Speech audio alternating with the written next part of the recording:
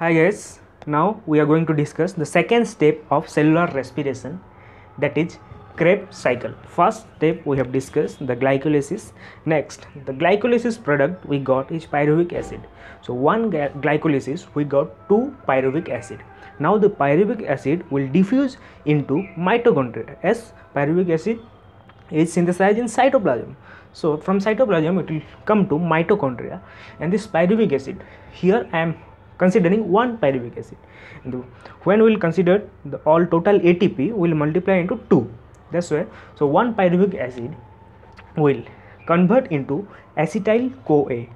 So in presence of CoA enzymes and CO2 will be released. That's why this process is called as pyruvate decarboxylation and it is also called as preparatory step. This step is not included in Krebs cycle. So it is called as preparatory step for Krebs cycle. Here we will get one molecule of NADH2. At last we will calculate how much ATP molecule we will get. So this is the first step of Krebs cycle and Krebs cycle is also known as TCA cycle or citric acid cycle. Why it is called citric acid or TCA cycle? Because TCA is tricarboxylic acid because tricarboxylic three carboxylic group is there in citric acid. So first compound form in Krebs cycle is citric acid. That's why it is called as TCA cycle or citric acid cycle. So first step will go acetyl CoA. From here it start acetyl CoA will convert into citric acid in presence of citrate synthase. So here citrate acid how it is formed here oxaloacetic acid is a 4 carbon compound and acetyl CoA is 2 carbon compound. These both will add and will get citric acid. So first step of Krebs cycle is oxaloacetic acid plus acetyl CoA will give citric acid. Remember that. And this is 6 carbon compound because acetyl CoA is 2 carbon compound and oxaloacetic acid is 4 carbon compound because pyruvic is 3 carbon, 1 carbon dioxide is released so we get 2 carbon compound of acetyl CoA. So 2 carbonic compound of acetyl CoA plus 4 carbonic compound of oxaloacetic acid will give citric acid. Next come citric acid in presence of enzyme aconitase will form isocitrate. This is also 6 carbon compound. Next isocitrate will convert into alpha ketoglutarate in presence of isocitrate dehydrogenase. Here 6 carbon compound will convert into 5 carbon compound because one CO2 is lost.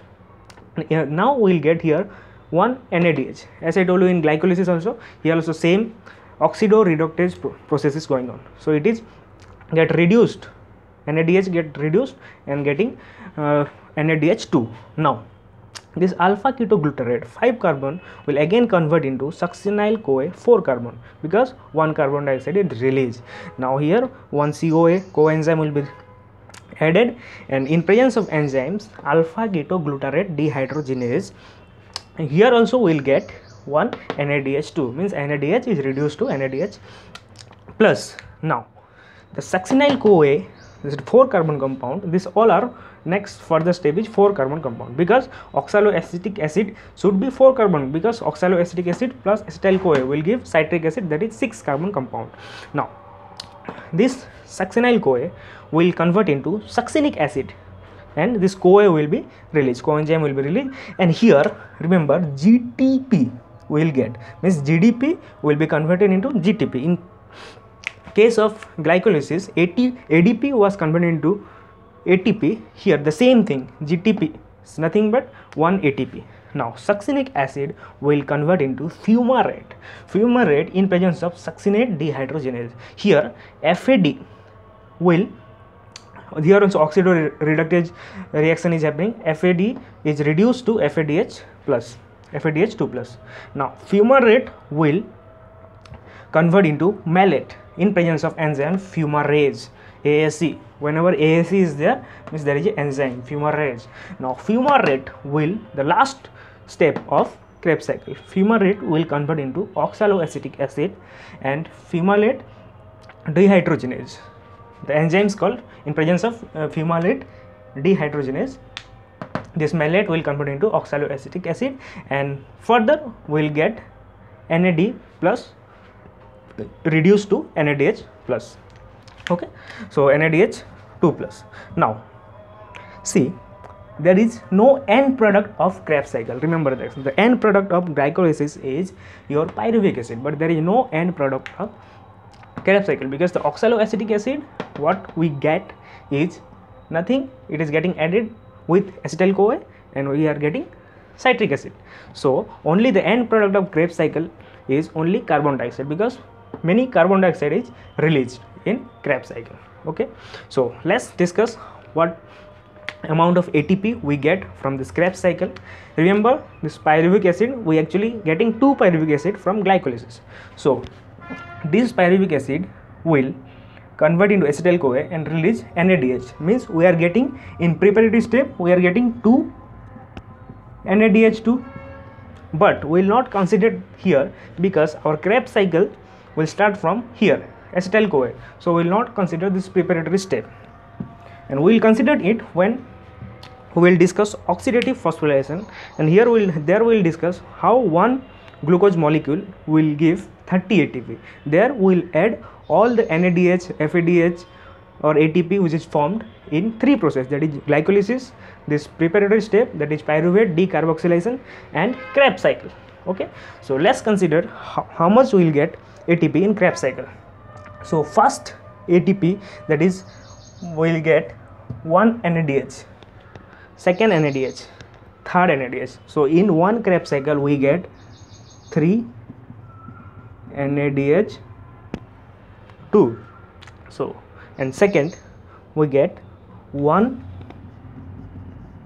FADH2 and 1 GTP so GTP is nothing but ATP so as I told you in previous video 1 NADH is equal to 2.5 ATP and 1 FADH is equal to 1.5 ATP in recent book if you refer they will give 2.5 and 1.5 but if you refer old book they will give 1 NADH will give 3 ATP and 1 FADH will give 2 ATP but recently uh, they have proved that 1 NADH will give 2.5 and 1 FADH will give 1.5 ATP. So here 3 ATP, 3 NADH2 means how much ATP? 3 into 2.5 that is 7.5 ATP.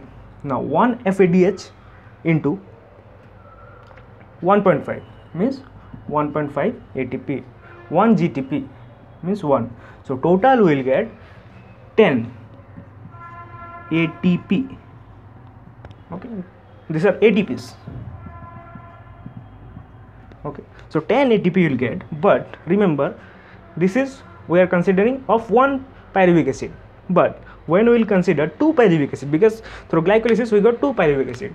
So we will multiply 10 into 2 that is 20 ATP thus we can conclude that the Krebs cycle will get in one Krebs cycle we will get 20 ATP so we have to exclude the preparatory step and in one Krebs cycle we will get total of 20 ATP.